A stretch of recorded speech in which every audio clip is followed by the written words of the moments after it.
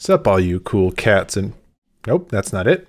Sup all you WordPress nerds. In this video, I'm going to be going over how much you should charge for a freelance client. Now, this is going to be mostly guidelines that I typically follow, so they're my opinion on how things should go.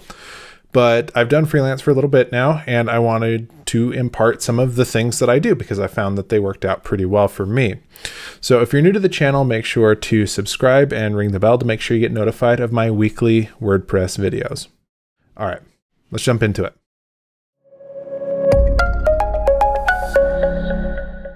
All right, so again, these are things that I have found helpful to me over the years of doing freelance. Um, I do it part time. This is not like a full time thing that I do. I have a nine to five job. So any freelance that I do is after hours. So I hope that you can take some of this stuff and apply it to full time work. But for now, I'm going to look through it through my own lens and hopefully you can find something helpful out of here. Um, so yeah, kind of like I said at the beginning, we're going to be taking a look at how much you should charge for a freelance project, some things to look for, as well as how to go about charging your client for that. And that'll make a little bit more sense here in a second. So we're going to set up the payment structure. So how much to charge and what goes into that. And then how to plan for those costs as they come in.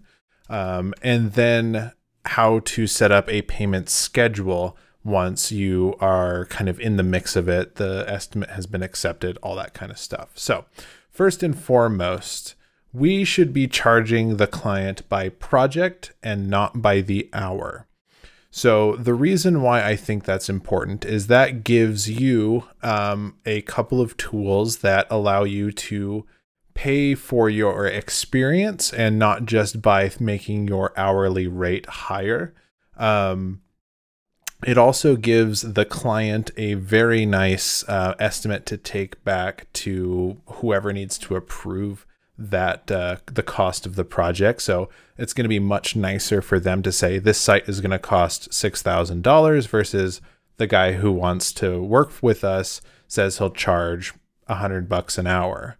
And so to the finance person, that makes a lot more sense to say like, oh, I'm going to be spending $6,000 on this project versus who knows how much I'm going to be spending on this project, but it's going to be about 100 bucks an hour. So there's a lot more questions there. So if you can figure out how much you can charge for that project ahead of time, not only are you going to be able to get more clients, you're also going to be able to um, charge more what you're worth um, versus just having your butt in a seat um, and charging by the hour some people like to charge by the hour. I like to charge by by the project, and it's worked out well for me.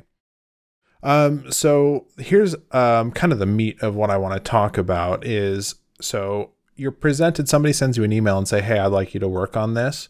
Um, what's your estimate for this project?" There's some things that you probably should consider, and some things that you need to ask about. First and foremost is, do they have a design, and can you see it?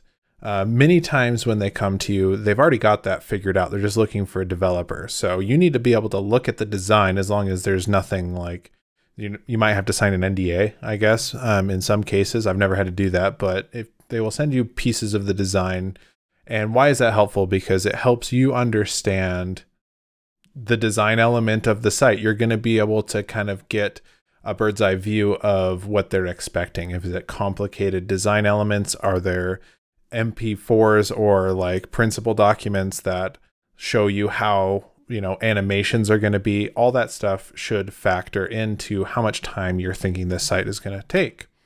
Um, what apis do they need integrated? There's all sorts of things that could go out there. Like if they're running a car site you're going to need to be able to uh, query um, vin numbers and stuff like that. You're going to need to know if they need that happening or if they need to have it um, integrate with like a CRM, a client relation management thing. Um, so like HubSpot or any other custom thing that they might have going on. Um, I kind of encapsulate the next couple of things into web app features, which is just kind of stuff that you're not going to find on just kind of like a brochure site. Like if you're doing like a recipe site and people can need to be able to log in and have like a dashboard and have a profile page and like be able to save other people's posts and stuff like that and be able to generate their own content. I kind of encapsulate that into web app features And that's such like a black box of like you need to kind of have experience in those fields in order to know how much time it's going to take. Um, but yeah, you're going to need to know whether or not they're expecting web app features. Um, a tight deadline is also something you should very much charge for. Um, I would say anywhere between 10 and 25% extra for a tight deadline. And the tighter the deadline, the higher the percentage. So definitely ask about that. Email management, in my opinion, is a nightmare. I hate it. So I charge extra for that. That is something that can get very out of hand and very, very messy depending on uh, how they have their stuff set up already, if they have it set up at all. Hosting, sometimes they have it figured out, sometimes they don't. Sometimes they have their site already hosted, or, you know, that's something that you're going to have to figure out and how the billing for that is going to be. It's definitely a sticky situation. You're going to want to consider that when you're estimating your cost. Um, any premium plugins or tools that you're going to have to purchase um, if you're working with WordPress or something like that. Sometimes you need to buy plugins to get the thing working that they expect to have it to work. Uh, they're going to need you're going to need to buy plugins in order to get it working sometimes. So uh, definitely think about that ahead of time, or if they already have something in mind, um, definitely research that. Um, any sort of training that you're going to have to do once uh, the site is live, maybe you're going to be handing it off to an in-house team where they have their team of developers and you're going to need to sit there and run them through the code base. Or if you're working with a content management system, you're going to need to be able to train whoever is going to be inputting the content. Um, so you're going to need to think about that when you're jumping it, when you're estimating your time. Are you going to be jumping into someone else's code? It's happened to me where I find out that the they had a previous freelancer who abandoned the project and they want you to pick up where he left off. Charge extra for that because that's going to be a nightmare. Um, jumping into someone else's code is never fun. Um, will you be able to recycle some of your own code from a previous project? And this one's kind of interesting because this could either reduce how much the the the uh, the the estimate, or it could increase it, kind of like rewarding yourself for you know being efficient and, and having that kind of stuff ready to go. I'd not increase the project and the the amount you would charge, but you could either leave it the same to accomplish that same amount of work, or you could reduce it, and that's that's how I would do it. I would maybe reduce it a little bit.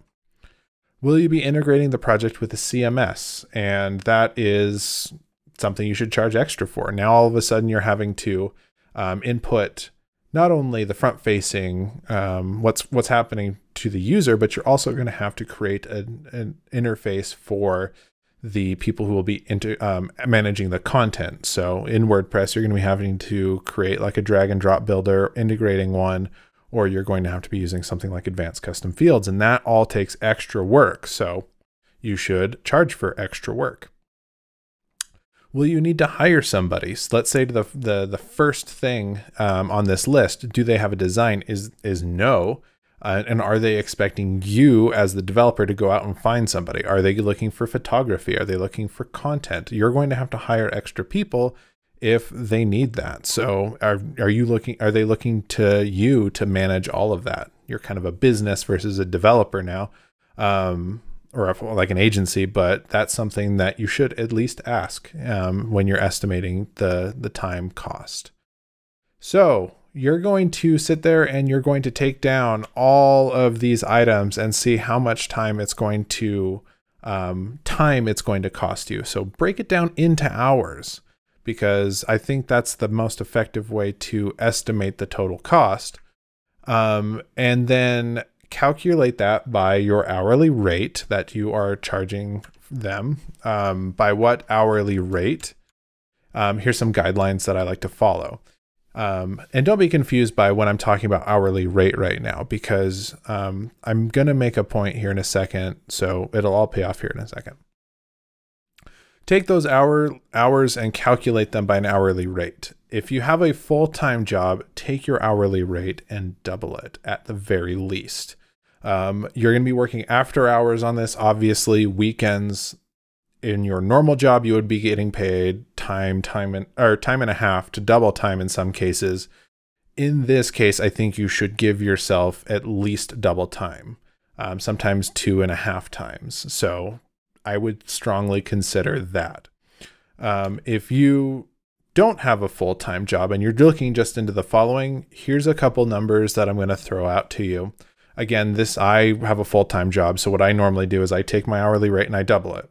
That it's very simple for me, uh, and it's something that's worked out very well. But if you're just doing full time freelance, here's some numbers that I would throw your way between junior, mid, and senior level. Now, senior level can scale near infinitely, so it depends on how many years experience you have. But I would at least start at 100 bucks an hour. So you should now have a number, but that number should be flexible. So that number can change. Now that you have taken how many hours you think this is going to cost and how much that number should be times by, that's not going to be the end of it. There go is going to be hiccups and all this kind of stuff. And so there should be some sort of information inside of your estimate that says that this number can change. Um, and the reason why this number can change could be some of these things that we saw um, in the in the in the initial um, slide that had all those bullet points, and you know they're going to do their best to um, get you a breakdown of all the things that they're going to need. However, um, clients are are have can have uh, the best of intentions, but they could still forget things. So you could get like 90 through or 50% through a project and all of a sudden there's an API integration and that you find out about. Well, you can't just eat that cost. You need to be able to change how much your estimate is going to be. Maybe even since we're not charging by the hour, you can say, well, this in your head, you can say, well, this is going to take me an extra 15 hours to create. Well, I'm going to sit there and say, well, it's going to be, you know, 20 hours and I'm going to times that by my hourly rate and then estimate that project um, and then give that as my estimate for that. So without exposing your hourly rate, you're going to be charging by project. So these are some things that, I mean, this is a screenshot from an email that I sent out to a client uh, recently. So these are things that when I was giving an estimate, things that I listed that could change the number of my estimate. So this can kind of fall into place either while you're actually working on the project or it can happen you know, any time between when you send your initial estimate and the kickoff of the project. So, how should I charge my estimate?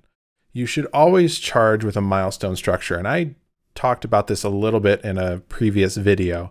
Um, and I think it's rep worth repeating because milestone is, in my opinion, the only way to charge for a freelance project because what's going to happen is there is going if you charge all up front or all at the end you set yourself up to lose out on control of the project. If you charge all up front you're going to yay i got all my money right now. Like i'm solid. Like you know the rest is is gold. However that makes it very easy for the for the client to sneak in and scope creep the project. So if they all of a sudden have an extra API integration, they're going to expect you to just take care of it because they paid you all this money up front. If you charge all at the end, they're to you they can scope creep it throughout throughout and that makes it a difficult conversation at the end where it's like hey you know what? I did all these extra things. I need more money than i originally asked you for.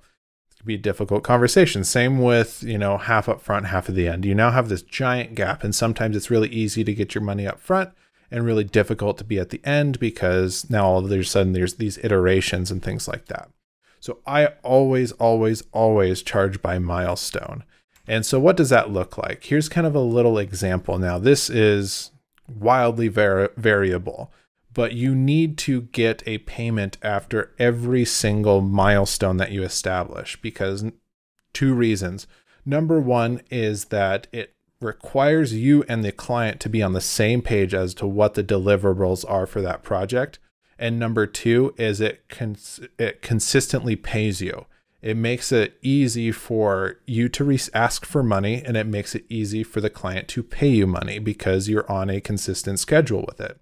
It's really hard to give up the large chunks of cash um, at the beginning and or the end However, it's much easier to do kind of a trickle system. So I have a demonstrable thing that I completed. I'm going to show the client, and then they are going to pay me for that. So for this example, milestone one is I did the header, the, fo- the footer, and the homepage because that implies that I set up my local environment. I got all the styles and the design system set up. I've got basic coverage for a working page. That's a milestone. You should get one fifth in this case of the of the project. Now, milestone two, same thing, another chunk of changes, and then you show the client, then you get paid for that work. And then you continue that all the way down the line until the last milestone, which is launch. You launch the site, it's live, and then you get an your final paycheck.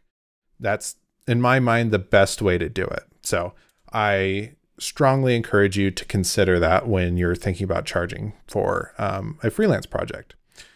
But long story short, these are some guidelines that I have set for myself, and hopefully they can help you out when it comes to thinking about how to charge your client um, the next time around. So um, always think about your um, project goals, what's going to go into the project, figure out how much time that's going to cost you, um, multiply that by your hourly rate, and expose that final number to your client and then work from there. Your that number should be flexible in case anything comes up and let the client know that obviously put that into a contract somewhere and then finally charge that number divided by your milestones. And I think that if you follow that, everyone's going to be happy. You're going to have a much smoother project overall. So anyway, if you guys enjoyed the video, make sure to give it a thumbs up, leave a comment down below. Let me know if you would have any other guidelines that you would add to this list, or if you just want to say something nice or something like that. Um, go for it. I appreciate you guys watching. Thank you to my lovely patrons who have been supporting the channel. Um, if you want to support the channel, um, there's a link below to my Patreon, and as soon as we hit a goal, I'm going to be start to post exclusive content there. So consider that if you will. All right. Thanks, guys, for watching. Again, I appreciate the support, and I will see you in the next one.